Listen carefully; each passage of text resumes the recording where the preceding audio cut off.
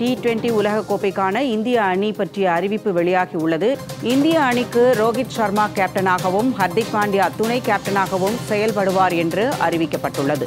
T twenty உலகக்கோப்பை போட்டிக்கான இந்திய அணி தற்போது அறிவிக்கப்பட்டுள்ளது. இதில் இந்திய அணிக்கு ரோஹித் சர்மா கேப்டனாகவும் ஹர்திக் பாண்டியா துணை கேப்டனாகவும் செயல்படுவார்கள் என அறிவிக்கப்பட்டுள்ளது. கூடுதல் விவரங்களுடன் செய்தியாளர் முத்துக்குமார் இணைகிறார். முத்துக்குமார் இது பற்றி விரிவாக பதிவு செய்ய ஜூன் மாதம் நடைபெறவுள்ள ஐசிசி உலகக்கோப்பை டி டுவெண்டி தொடருக்கான இந்திய அணியை தற்பொழுது பிசிசிஐ அறிவித்திருக்கிறது. அதாவது இருபது ஓவர் உலகக்கோப்பை கிரிக்கெட் போட்டி என்பது ஜூன் மாதம் ஆஹ், அமெரிக்கா மற்றும் மேற்கிந்திய தீவுகளில் நடைபெறுகிறது. குறிப்பாக சொன்னால் வரலாற்றிலேயே இருபது அணிகள் பங்கேற்கும் முதல் டி டுவெண்டி உலகக்கோப்பை தொடராகும். உலகக்கோப்பை தொடருக்கான இந்திய அணியை இந்திய கிரிக்கெட் வாரியம் தற்பொழுது அதிகாரப்பூர்வமாக அறிவித்திருக்கிறது. அந்த வகையில் ரோஹித் சர்மா தலைமையிலான பதினஞ்சு பேர் கொண்ட மற்றும் நான்கு வீரர்கள் ஸ்டாண்டர்டான பெரும் மொத்தம் பத்தொன்பது வீரர்கள் கொண்ட அணியை தேர்வு செய்திருக்கிறது. அதாவது ஜூன் மாதம் நடைபெற இருக்கக்கூடிய அந்த டி டுவெண்டி உலகக்கோப்பை போட்டிக்கான அணிகளை தங்களோட பங்கேற்கக்கூடிய அணிகள் தங்களுடைய அணியின் விவரங்களை அதாவது நாளை மே ஒன்றாம் தேதி தேதிக்குள் அறிவித்திருக்க வேண்டும் என ஐசிசி ஏற்கனவே தெரிவித்துள்ளது. அந்த வகையில் இந்தியாவை பொறுத்தவரை ஏப்ரல் மாதம் ஆஹ், கடைசி வாரத்தில் அறிவிக்கும் என ஏற்கனவே தெரிவித்துள்ளது. அந்த வகையில் இன்றைய தினத்தை பொறுத்தவரைக்குமே இங்கிலாந்து தென்னாப்பிரிக்கா மற்றும் நேற்றைய தினத்தை பொறுத்தவரை நியூசிலாந்து அணிகள் அறிவித்துள்ளது.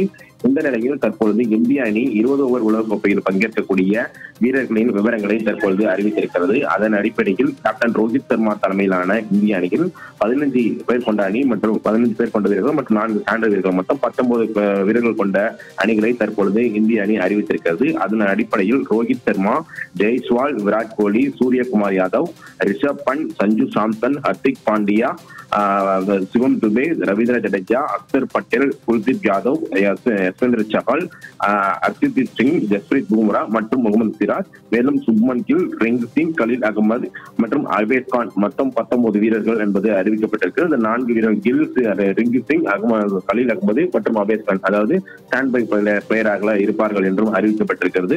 கேப்டன் ரோஹித் சர்மா தலைமையில் கேப்டன் ரோஹித் சர்மாவும் துணை கேப்டனாக ஹர்திக் பாண்டியாவும் அறிவிக்கப்பட்டிருக்கார்கள். மேலும் மே- மேலும் இரண்டு விக்கெட் கீப்பர்கள் தேர்வு செய்யப்பட்டிருக்கிறார்கள். அதே போல ரிஷப் பண்ட் காயம் காரணமாக கிட்டத்தட்ட ஒன்றரை வருடங்களாக கிரிக்கெட் போட்டிகளில் பங்கேற்காமல் இருந்த ரிஷப் பண்ட் மீண்டும் ஐபிஎல் போட்டிக்கு திரும்பி சிறப்பாக விளையாடி வருகின்ற நிலையில் மீண்டும் இந்திய அணிக்கு திரும்பியிருக்கிறார் அது மட்டுமல்லாமல் சஞ்சு சாம்சனும் சஞ்சு சாம்சனும் இரண்டாவது விக்கெட் கீப்பராக தேர்வு செய்யப்பட்டிருக்கிறார். இதன் அடிப்படையில் கே எல் ராகுல் இந்த உலகக்கோப்பை தொடரில் எடுக்கவில்லை என்பது குறிப்பிடத்தக்க ஒன்றாகும். மேலும் அக்சர் பட்டேல் குல்தீப் யாதவ் ரவீந்திர ஜடேஜா யசுந்திர யஸ்வந்திர சாகல் உட்பட மொத்தம் நான்கு சுழற்பந்து வீச்சாளர்களும் தேர்வு செய்யப்பட்டார்கள் அமெரிக்கா மற்றும் வெஸ்ட் இண்டீஸ் பிச்சை பொறுத்த வரைக்குமே சுழற்பந்து வீச்சுக்கு மெதுவான ஆடுகளங்களாக பார்க்கப்படுகிறது. அதன் அடிப்படையில் நான்கு சுழற்பந்து வீச்சாளர்களை தேர்வு செய்யப்பட்டிருக்கிறது. சென்னை சூப்பர் கிங்ஸ் அணியில் பிக்சர் நாயனாக பார்க்கப்படக்கூடிய சிவம் துபே தற்பொழுது அணிக்கு தேர்வு செய்யப்பட்டிருக்கிறார். அதே போல துவக்க ஆட்டக்காரராக ஏற்கனவே ரோஹித் சர்மா மற்றும் விராட் கோலி களமிறங்குவார் என ஏற்கனவே தகவல் என்பது தெரிவிக்கும் நிலையில் தற்போது எஸ்எஸ்வி ஜெய்ஸ்வாலும் சேர்க்கப்பட்டுள்ளார் ஆக ஆடும் லெவன் என்பது அன்றைய தினத்தை பொறுத்தவரை தான் தெரிய வரும். குரூப் ஏயில் உள்ள இந்திய அணி ஜூன் ஐந்தாம் தேதி அயர்லாந்து அணியுடன் தனது முதல் போட்டியை விளையாடுகிறது. ஜூன் ஒன்பதில் பாகிஸ்தான் அணியுடனும் ஜூன் பனிரெண்டு அமெரிக்காவுடனும் ஜூன் பதினைந்தில் கனடா அணியுடனும் மோத இருக்கிறது. இந்த நிலையில்தான் தற்பொழுது பத்தொன்பது பேர் கொண்ட அணியை தற்பொழுது இந்திய கிரிக்கெட் வாரியம் அறிவித்திருக்கிறது. அகமதாபாத்தில் நடந்த பிசிசிஐ உடைய செயலாளர் அஹ், ஜெய்சா தலைமையிலான நடைபெற்ற இந்த ஆலோசனை கூட்டத்தில் தேர்வுக்குழு தலைவர் அஜித் ஜாகர்கர் உள்ளிட்டோர் பங்கேற்றனர். மேலும் கேப்டன் ரோஹித் சர்மா காணொலி காட்சியின் மூலமாக பங்கேற்று தற்பொழுது ஆலோசனை மேற்கொண்டு தற்பொழுது இந்த இந்திய அணி அறிவித்திருக்கிறது.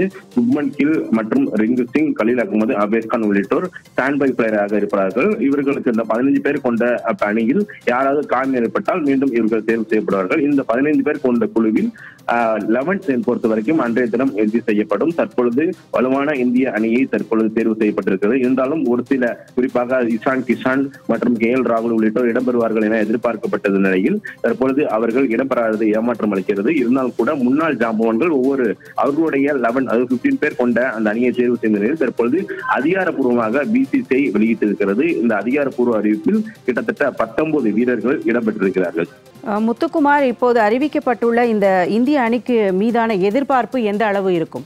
இந்த டி டுவெண்டி உலகக்கோப்பை தொடரை பொறுத்த வரைக்குமே இந்திய அணி நிச்சயம் இந்த உலகக்கோப்பை தொடரை கைப்பற்ற வேண்டும். ஒரு நிர்பந்தம் அளவு இருக்கிறது. என்னன்னு கேட்டால் ரோஹித் சர்மாவிற்கு அந்த கேப்டன்ஷிப் அந்த சுமை என்பது கடுமையாக இருக்கும். என்றால் கடந்த ஆண்டு நடைபெற்ற அந்த ஐம்பது ஓவர் உலகக்கோப்பை போட்டியில் இந்திய அணியை இறுதிப் போட்டி வரை அழைத்து சென்றார். உலகக்கோப்பையை கைப்பற்றவில்லை என்றால் கூட மக்கள் அதாவது ரசிகர்களுடைய மனதில் வென்ற தொடர்ச்சியாக ஒன்பது போட்டிகளில் வெற்றி பெற்று இந்திய அணி ஒரு நல்ல ஒரு நிலைமைக்கு கொண்டு போய் தான் இறுதிப் போட்டியில் துரதிருஷ்டவசமாக தோல்வியடைந்தால் அதற்கு பரிகாரம் தரும் வகையில் தற்பொழுது வர இருக்கக்கூடிய அந்த இருபது ஒரு உலகக்கோப்பையை கைப்பற்ற வேண்டும் என்ற ஒரு முனைப்பு தான் அதிக அதிக பேரோட எதிர்பார்க்கப்படுகிறது ஏனென்று கேட்டால் இரண்டாயிரத்தி ஏழாம் ஆண்டுக்கு பிறகு முதல் உலகக்கோப்பையை கைப்பற்ற பிறகு மீண்டும் இந்தியா இதுவரை அந்த உலகக்கோப்பையை கைப்பற்ற முடியாத ஒரு நிலைமை தான் ஏற்பட்டிருக்கிறது.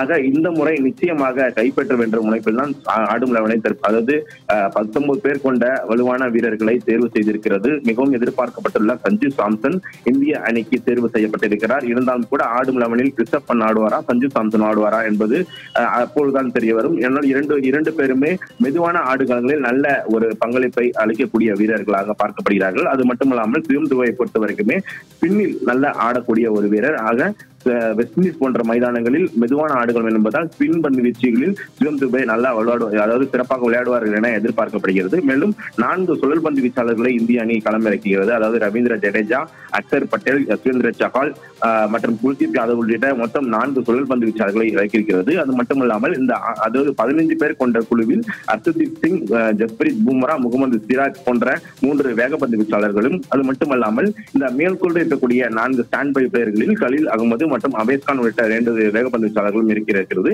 மேலும் மிகவும் எதிர்பார்க்கப்பட்ட லக்னோ அணியில் சிறப்பாக பந்து வீச வரக்கூடிய அது மட்டுமல்லாமல் இந்த ஆண்டு நடைபெற்று வரக்கூடிய ஐபிஎல் போட்டியில் அதிவேகமாக பந்து வீசி வரக்கூடிய அதாவது யாதவ் மயங் யாதவ் அணிக்கு தேர்வு செய்யப்படுவார் என முன்னாள் ஜாமோன்கள் கருத்து தெரிவித்த நிலையில் தற்பொழுது அவர் இடம்பெறவில்லை என்பது குறிப்பிடத்தக்க ஒன்றாகும். இந்த நிலையில் இந்த அணி நிச்சயம் வெற்றி பெறும் என பிசிசிஐ செயலாளர் மற்றும் தேர்வு குழு தலைவர் அஜித் அகர்வால் உள்ளிட்டோர் நம்பிக்கை தெரிவித்துள்ளனர்.